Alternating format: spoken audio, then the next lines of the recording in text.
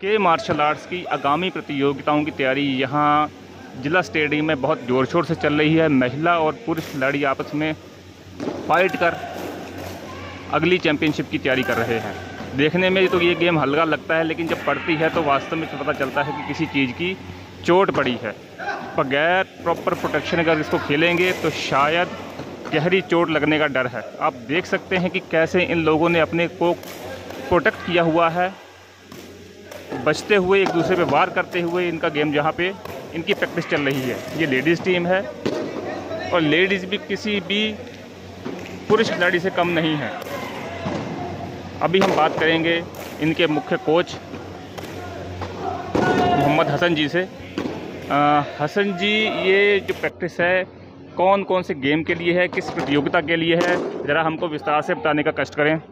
ये इसके martial art की तैयारी चल रही है क्योंकि आगे भी उत्तराखंड में राष्ट्रीय खेल भी आयोजित होने वाले हैं तो हमारी पूरी कोशिश है कि हमारे बच्चे उसमें भी प्रतिभा करें क्योंकि सैंतीसवें राष्ट्रीय खेल जो गोवा में हुए थे उसमें भी ये प्रतियोगिता आयोजित की गई थी उसके अंदर ये गेम मेरा नाम मोना कश्यप है और मैं मोहम्मद हसन खान सर की स्टूडेंट हूँ और स्काई मार्शल आर्ट की प्लेयर हूँ सीनियर कैटेगरी में।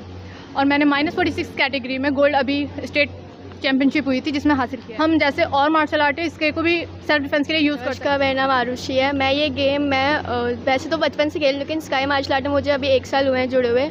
और अभी जो फ़िलहाल ही में जून में कश्मीर में हमारा नेशनल इंटरनेशनल मैच हुआ था तो मैंने अंडर 46 कैटेगरी में गोल्ड मेडल और ब्रॉन्ज मेडल प्राप्त किया। और उसमें अच्छा परफॉर्म किया था। तो हमारी कोशिश है कि उत्तराखंड में भी राष्ट्रीय खेलों में इस गेम को शामिल किया जाए। की तैयारी कर रहे हो? सर, मेरा- कौन सा एज ग्रुप है? सर मेरा नाम प्रदीप रॉय है। मैं एक स्की मार्शल आर्ट का खिलाड़ी हूँ। यह गेम अड़तीसवें राष्ट्रीय खेल में आने की पूरी पूरी संभावना है जिसकी मैं भी जोरों शोरों से अपने कोचों के साथ अपने टीममेट्स के साथ तैयारी कर कैटेगरी में खेलने वाले हैं? नमस्कार सर सर मेरा नाम सोमनाथ राय है। सर मैं इसके इसके मार्शल आर्ट अड़तीसवा राष्ट्रीय खेल जो होने जा रहा है इसकी सर जोरों शोरों से तैयारी कर रहा हूँ। और सर यहीं सर मैं सर सीनियर बेट कैटेगरी में खेल रहा हूँ। तो उसी की तैयारी में लगे पड़े हैं सभी खिलाड़ी गर्ल्स एंड बॉयज़ सीनियर सभी सीनियर्स हैं ये मतलब महिला, पुरुष तो आगे प्रतियोगिता में अच्छा पड़े मतलब अच्छी उम्मीद है कि काफ़ी मेडल देंगे उत्तराखंड राज्य को ये। उसी की तैयारी में लगे हुए हैं सब इसके मार्शल आर्ट मेरा सवाल इस गेम को देख के ये आ रहा है कि हम लोग प्रैक्टिस करते रहे हैं कराटे की। ये गेम कराटे से किस तरह अलग है? क्योंकि इसमें ढाल है, एक तलवार जैसी इक्विपमेंट है। ये गेम क्या उतना ही घातक है, उतना ही खतरनाक है? उससे कम है, ज़्यादा है, क्या है? उससे ज़्यादा घातक है। क्योंकि ये सोचिए, जो, ये ढाल और ये तलवार जो है, इसको तलवार को बोलते हैं तुर्रा, और जो ढाल है, उसको बरगुला बोलते हैं। कश्मीर के राजा जो थे, उनके द्वारा ये गेम लाया गया था। फिर बाद में हमारे grand master Mir Nazir sir ने इसको आगे बढ़ाया, और आज खाली देश में ही नहीं विदेश में भी ये गेम खेला जा रहा है। अभी कुछ दिन बाद नवंबर में कजाकिस्तान में इसकी वर्ल्ड चैंपियनशिप भी हो रही है हमारी। तो गेम काफ़ी खतरनाक है ये। मेरा नाम अंश पोखरियाल है मैं रुद्रपुर से हूँ और मेरा थर्टी सेवन वेट कैटेगरी में गोल्ड मेडल आया। है बोलते हैं? तो तुर्रा की जो मार है वो कैसी पड़ती है? बड़ी खतरनाक मार है उसकी। कि वो अंदर पाइप होता है पूरा तो उसकी मार बहुत घातक है। तो इसको भी बाकी मार्शल आर्ट की तरह सेल्फ डिफेंस में यूज़ कर सकते जी हैं। जी जी बिल्कुल कर सकते हैं। तुर्रा के साथ या तुर्रा के बगैर?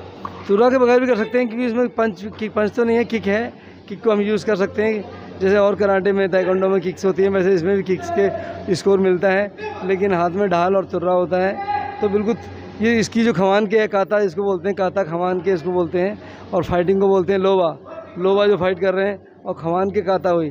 तो उसमें पूरा अटैक बताए जाते हैं कि कैसे आप तलवार से अटैक करेंगे कहाँ कहाँ अटैक करेंगे तो पूरा बताया जाता है। मार्शल आर्ट हम उत्तराखंड में सभी बच्चों को प्रत्येक दिन प्रैक्टिस तो हम करा रहे हैं, लेकिन संडे के दिन, सुबह दस बजे से और शाम के पाँच बजे तक दो सेशन हम कराते हैं। और लगातार हमारी, जैसे लोग कई जगह खून बहाते हैं, हम खून की तरह ही पसीना भी इतना बहा रहे हैं और हम उम्मीद करते हैं कि आने वाले अभी अड़तीसवीं राष्ट्रीय खेल में अगर हमारा गेम इंक्लूड हो गया तो उसमें हम मेडलों की लाइन लगा देंगे ये हमारा विश्वास है दृढ़ संकल्प है। कुछ चैंपियन भी निकले हैं कुछ चैंपियन निकले हमारे इसमें कई बच्चे राष्ट्रीय और अंतर्राष्ट्रीय लेवल पर पदक ला चुके हैं उत्तराखंड के लिए और काफ़ी अच्छा इन्होंने परफॉर्म किया है। और आगे मुझे पूरी उम्मीद है कि आगे भी अच्छा करेंगे और राज्य को काफ़ी अच्छे पदक देंगे। कश्मीर में कौन सी वेट कैटेगरी में आपने मैं माइनस सिक्सटी सिक्स के जी में पार्टिसिपेट किया था मैंने।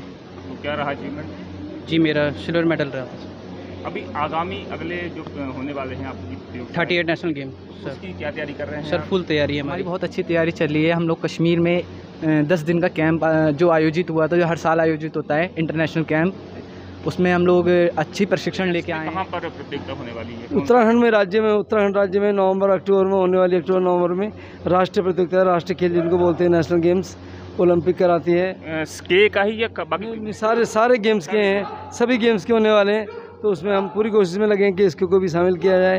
क्योंकि सैंतीसवें राष्ट्रीय खेल जो गोवा में हुए थे, उसमें हमारा गेम था और उसमें काफ़ी अच्छा किया था बच्चों ने। तो उत्तराखंड में पूरी उम्मीद है कि काफ़ी मेडल देंगे बच्चे, अच्छे खिलाड़ी तैयार हो रहे हैं मेहनत कर रहे हैं, पूरे बच्चे मेहनत कर रहे हैं।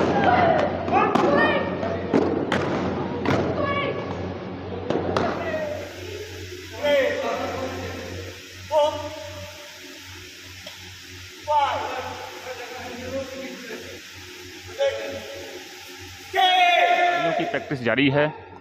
पूरी मेहनत कर रहे हैं वो लोग।